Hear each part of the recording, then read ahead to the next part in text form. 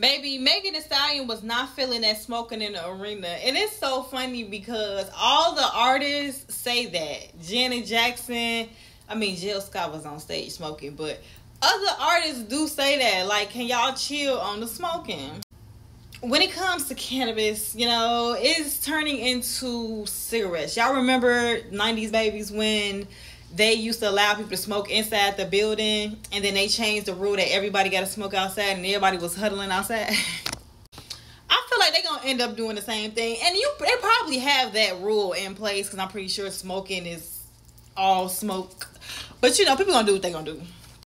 But I also feel like if you listen to Megan Thee Stallion music, you should respect the fact that she just don't want to be around smoke, right? Why don't y'all just do it before and then come in ready to party? And y'all supposed to be hotties. Y'all must not be listening. Cause I I listen. I wouldn't have did that to her. Child, follow the YouTube.